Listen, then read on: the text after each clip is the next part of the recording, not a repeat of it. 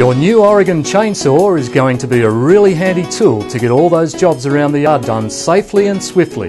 I'm Steve and I'm going to show you how to put it together and start using it. Firstly, it is crucial you read through your instruction manual. There is a lot of safety advice in there which you need to know. Once you've unpacked everything, your first task is to attach the bar and chain. Always wear gloves when handling the chain as it is very sharp. So let's get cracking. Attaching the bar and chain. First make sure the chain brake lever is in the disengaged position. Loosen and remove the bar locking nuts and the clutch cover from the saw. Remove the metal spacer. Here's the adjusting pin. The adjusting pin and screw is used to adjust the tension of the chain. Turn the adjusting screw by hand counterclockwise until the adjusting pin just touches the stop. This should allow the pin to be in the correct position. Fit the metal spacer to the bar bolts. Carefully remove the chain from the package. Hold the chain with the drive links as shown. Check the chain direction. The cutters must face in direction of rotation.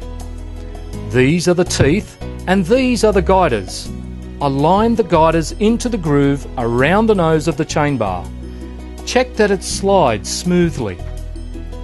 Here's the sprocket.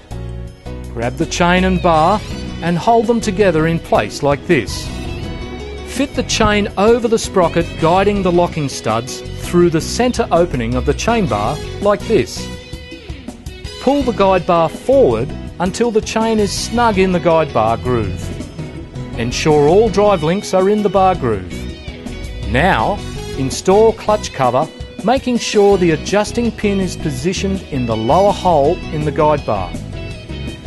Install bar nuts and finger tighten only.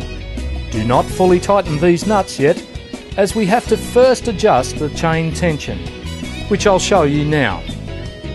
Chain tension. First, we'll check the tension. Checking the tension. Using the screwdriver end of the chain adjustment tool, Move the chain around the guide bar. If the chain does not rotate, it is too tight. If the chain is too loose, it will sag below the bar like this. Chain tension is very important. If the chain is too loose, the chain could jump off the guide bar and result in serious injury. Chains stretch during use, especially the first few times you use your saw. Always check the chain tension every time you use and refuel your saw. If you haven't already, loosen the bar nuts until they are finger tight. If the chain was too loose, then turn the adjusting screw clockwise until the chain firmly contacts the bottom of the guide bar rail. Using the bar tool, roll the chain around the guide bar to ensure all links are in the bar groove. If you need to loosen it, just turn the screw anti-clockwise. Once it is the correct tension, lift the nose of the chain bar while at the same time tightening the bar nut securely with the bar tool. Now, there are a few very important things you need to know before running your machine. But please, if you have not used a chainsaw before, read your manual fully. Fuel. You'll need to pre-mix the fuel first.